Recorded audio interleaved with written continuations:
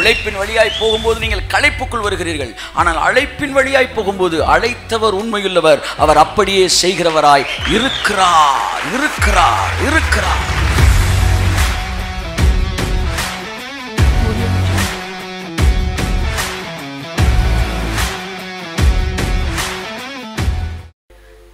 என் அன்புக்குரியவர்களே இவன் சொல்லுவது நல்லா கவனிங்க. ரெண்டு ஒன்று நான் சொல்றதுதான் டக்கு டக்கு டக்குன்னு வாசிக்கிட்டே வாமா. ரெ- பிரசங்கி ரெண்டு ஒன்று நான் என் உள்ளத்திலே. சொல்லிக் கொண்டது என்னவென்றால். வா. இப்பொழுது உன்னை சந்தோஷத்தினாலே சோதித்து பார்ப்பேன் சோதித்து பார்ப்பேன் மூணு அடுத்து டெஸ்ட் பண்றான் அடுத்து வானத்தின் கீழ். மனுபுத்திரர் உயிரோடு இருக்கும் நாளளவும். பெற்று அனுபவிக்கத்தக்கது. இன்னதென்று அறியும் பொருட்டு என்று அறியும் பொருட்டு என் இருதயத்தை நான் வந்து சோதனைக்குட்படுத்தினேன் ரெண்டு பத்து சோதிச்சுட்டு தான் எழுதுறாரு ரைட் ஆர் ராங் அப்படின்னு ரெண்டு பத்து வாசி என் கண்கள். இச்சித்தவைகளில். ஒன்றையும். நான் அவைகளுக்கு தடை பண்ணவில்லை. என் இருதயத்திற்கு. ஒரு சந்தோஷத்தையும். நான் வேண்டாம் என்று விளக்கவில்லை சீக்கிரம் நான் செய்த முயற்சிகளில் எல்லாம். என் மனம் மகிழ்ச்சி கொண்டிருந்தது மகிழ்ச்சி கொண்டிருந்தது இதுவே இதுவே என் பிரயாசங்கள் எல்லாவற்றினாலும் பிரயாசங்கள் எல்லாவற்றினாலும் எனக்கு வந்த பலன் மகிழ்ச்சி அதுதான் மனிதனுக்கு தேவன் கொடுக்கிற பலன் இன்றைய மனுஷன் இன்னைக்கு பிரச்சனைக்கு அழுகிற விட நாளைக்கு பிரச்சனைக்கு அழுதுகிட்டு இருக்கான் சார். ஆனால் தேவன் சொல்கிறார் மகிழ்ச்சியோடு இரு. ஆமேன். நீ யோசித்து யோசித்து என்னத்தை செஞ்சுட்ட? கர்த்தர் சொல்கிறார் மிகவும் சிறிய காரியத்தை கூட உங்களால் செய்யக்கூடாது இருக்க நீங்கள் வந்து என்னையா செய்ய போகிறீங்க இதைத்தான் கண்டுபிடிக்கிறான். கோணல் ஆக்கினதை நேராக்கினவன் யார்? சாலம் எழுதுறாரு. ஒரு இடத்துல தேவன் கோணலாக்கினதையும் சொல்கிறான் ஒன்றாவது இடத்துல பொதுவாக சொல்கிறான் கோணலாக இருக்கிறதை செவ்வையாக்கினவன் யார் அப்படின்றான். இயேசு சொல்கிறாரு கருப்பாக இருக்க முடிய கூட உன்னால் வெள்ளையாக்க முடியாது. இப்போ பாருங்க ஒரே ட்ராக்கில் ஓடிட்டு இப்போ ரெண்டு பேரும். நீங்கள் சாலமன் பேக் ஸ்லைட் ஆனால் நீங்கள் நினைக்கக்கூடாது அது கோணலானதை நேராக்க முடியாது ஒன்றால் அதனால் பீஸ்ஃபுல்லாக இருந்துக்க. இயேசு சொன்னார் முடிய முடியை கூட உன்னால் கருப்பாக்க முடியாது நிரந்தரமாக அதனால் பீஸ்ஃபுல்லாக இருந்துக்க. கவலைப்படுகிறதுனால் எவன் ஒருவன் தன் சரீர வல்லத்திலே ஒரு மூலம் கூட்ட முடியும்? உங்களால் என்ன செய்ய முடியும்? உங்களால் எப்படி வந்து உங்களுடைய சரீரத்தின் காரியங்களை வந்து மாற்ற முடியும்?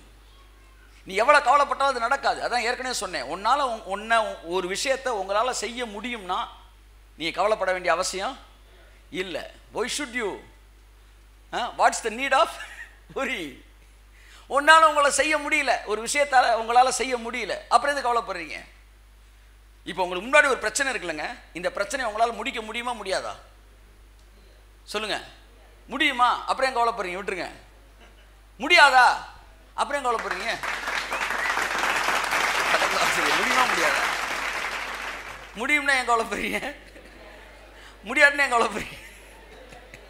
ஸோ ரெண்டு இருபதில் எழுதுறாரு பிரயாசப்படுறது மேலே இருக்கிற அந்த எஃபர்ட் எடுக்கிறதையே நான் விட்டுவிட வகை பார்த்தேன்.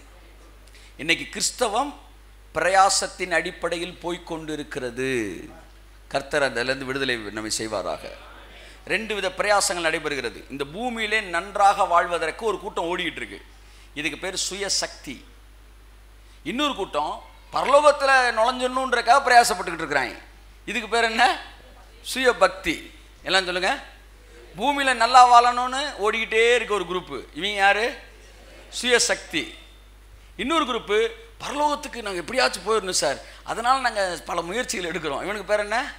சுய பக்தி பேதர் சொல்லிட்டான் நாங்கள் எங்கள் சுய சக்தியினாலோ சுய பக்தியினாலோ இவனை எழுந்து நடக்க பண்ணினோம் என்று நினையாதிருங்கள். கையை தட்டுங்க.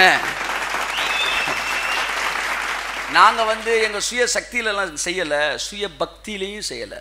இங்கே பாருங்கள் இந்த உலகத்தில் நல்லா வாழணும்னு ஒருத்தன் ஓடுறது எவ்வளோ பெரிய தப் அதாவது ரொம்ப வந்து என்ன சொல்ல வந்து உசுரை கையில் பிடிச்சிட்டு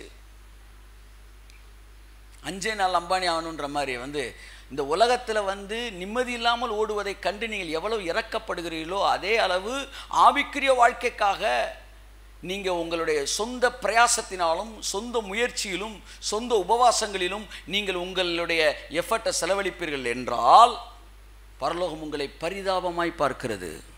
பரிதாபமாய் பார்க்கிறது.